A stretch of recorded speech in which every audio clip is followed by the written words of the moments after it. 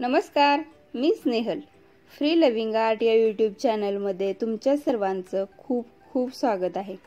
मी आज तुम्हाला दाखवणार आहे चिली इडलीची रेसिपी खूप इंटरेस्टिंग रेसिपी आहे. तर त्यासाठी लागणार आहे इडली कॉर्नफ्लॉवर मैदा आलं लसूण मिरपूड आणि मीठ. तर आता आपण मैदा आणि कॉर्नफ्लॉवरची एक पेस्ट तयार करून घेणार आहोत. एक पातळसर बॅटर तयार करायचे. तर त्यासाठी एका बाउलमध्ये पाव वाटी मैदा आणि अर्धी वाटी कॉर्नफ्लॉवर घेते. तर हे मी सगळं साहित्य नऊ इडली आहेत त्या मापानुसार घेते. यामध्ये थोडंसं आलं आणि लसूण घालते. तर इथं कट केलेलं आलं लसूण आहे तुम्ही पेस्टही वापरू शकता. पाव चमचा मिरपूड. आणि चवीनुसार मीठ. तर हे सगळं छान आता मिक्स करूया. आणि थोडं थोडं पाणी घालत आपण. याचं एक पातळसर बॅटर तयार करून घेणार आहोत. थोडं थोडं पाणी घालायचंय तर त्याच्या गुठळ्या होणार नाहीत. एकदम पाणी घातलं तर गुठळ्या तयार होतात. तर आपण डोश्यासाठी जे बॅटर तयार करतो त्या पद्धतीने हे थोडंसं पातळसर पाहिजे. तर हे पीठ तयार झालेलं आहे. आपण हे बाजूला ठेवूयात. आणि ह्या तयार इडली आहेत ते आपण कट करून घेणार आहोत. तर या पद्धतीने मी सरळ उभे काप करून घेतलेत.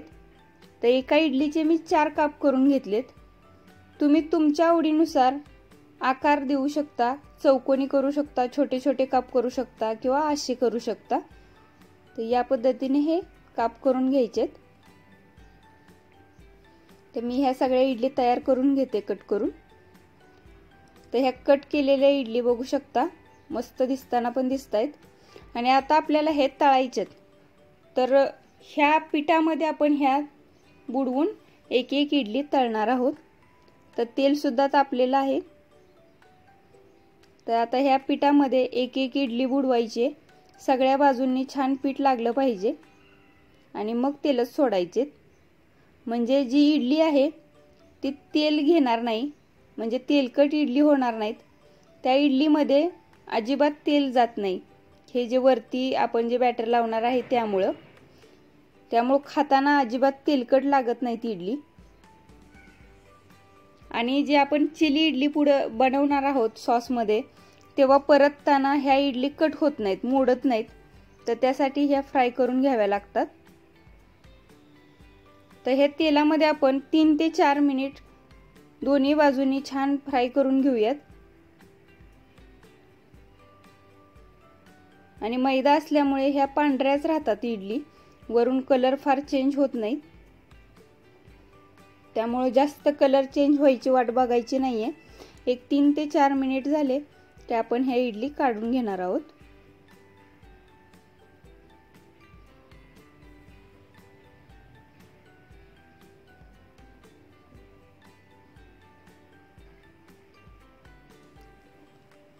तर ह्या दोन्ही साईडून छान आता तळून झाल्यात. आपण काढून घेऊयात.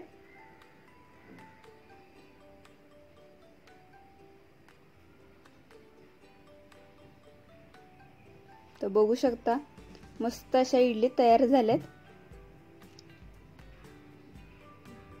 तर या पद्धतीने मी सगळ्या इडली तळून घेते.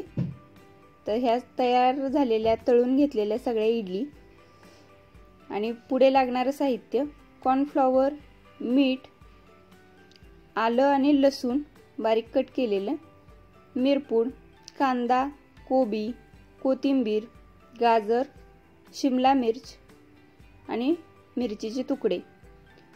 इथे आहे red chilli sauce dark soya sauce आणि टोमॅटो केचप हे एवढं आपल्याला हे पुढच्या प्रोसेससाठी लागणार आहे.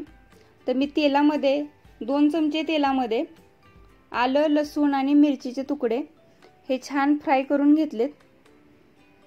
त्याचा उग्र वास जाईपर्यंत आणि थोडासा गोल्डन कलर येईपर्यंत परतायचेत. आणि आता यामध्ये आपण हा कांदा कट केलेला कांदा आहे तो घालणार आहोत. शिमला मिर्च आणि गाजर.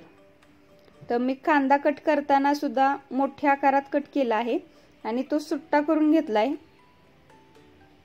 आणि त्याच आकारात कान शिमला मिरच आणि गाजर कट केलेला आहे. त्यामुळे दिसताना छान दिसतं. तर आपल्याला हे आपण दोन मिनिट परतून घ्यायचं आहे. एक थोडंसं चिमटभर मीठ घालून घेते ह्या भाज्यांना टेस्ट येण्यासाठी. सोया सॉस घालतो तेव्हा आपण मिठाचं प्रमाण थोडंसं कमीच घालायचंय. आणि हे एक दोन मिनिट आपण परतून घ्यायच्यात भाज्या. आणि आता यामध्ये आपण एक अर्धा ते पाऊन वाटी पाणी घालणार आहोत गरम पाणी. जी ग्रेव्ही बनवायची आहे त्यासाठी. तुम्हाला तर थोडीशी ग्रेव्ही जास्त हवी असेल तर थोडंसं पाणी तुम्ही जास्त वापरू शकता. आता यामध्ये आपण डार्क सोया सॉस घालूया. तर हा मी दोन चमचे घातला आहे. रेड चिली सॉस तीन चमचे घातला आहे. तुम्ही हा तुमच्या आवडीनुसार कमी जास्त वापरू शकता.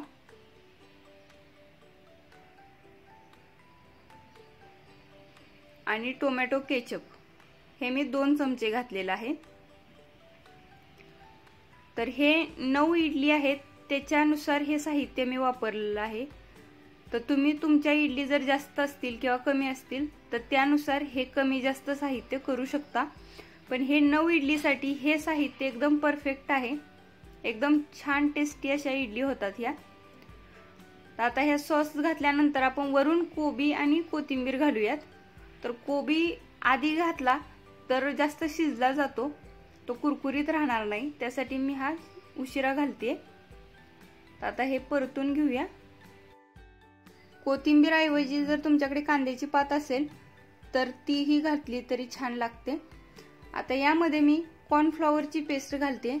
दोन चमचे कॉर्नफ्लॉवरमध्ये एक थोडंसं पाणी घालून त्याची एक पातळसर पेस्ट करून घेऊन ती घालायची आहे. त्यामुळं ग्रेव्ही छान अशी घट्टसर होते. तर आता हे आपलं मसाला तयार झालेला आहे. तर आता यामध्ये आपण ज्या तयार केलेल्या तळून घेतलेल्या इडली आहेत त्या घालूयात.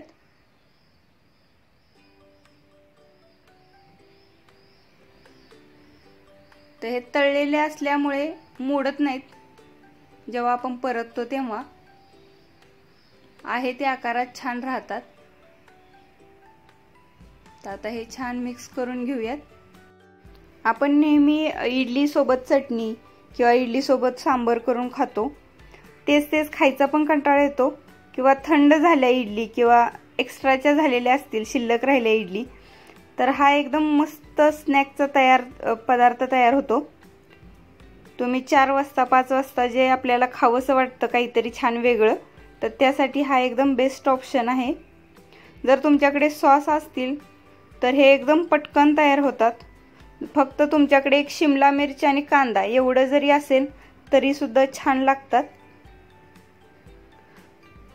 तर ही आपली चिली इडली तयार झाली आहे. एक ती दोन ते तीन मिनिट मी परतून घेतलेत. आता एका डिशमध्ये आपण काढून घेऊयात. तर बघू शकता जसे आपण इडली फ्राय करून घेतल्या होत्या तशाच आकारात छान आहेत. त्या कुठेही मोडलेल्या नाही आहेत आणि वरून आता थोडीशी कोथिंबीर आणि कोबी घालूयात. आणि खाताना तुम्ही तुमच्या आवडीनुसार टोमॅटो सॉसही घेऊ शकता वरून आणि. एकदम बेस्ट ऑप्शन आहे हा इडलीचा. वेगळा पदार्थ आहे काहीतरी. तर हा नक्की करून बघा. आणि आवडला तर नक्की लाईक करा. तुमच्याकडे कोणी छान पाहुणे येणार असतील एखादे लहान मुलं असतील तर त्यांच्यासाठी हा एकदम बेस्ट ऑप्शन आहे. काहीतरी वेगळं. तर व्हिडिओ पाहिल्याबद्दल थँक्यू.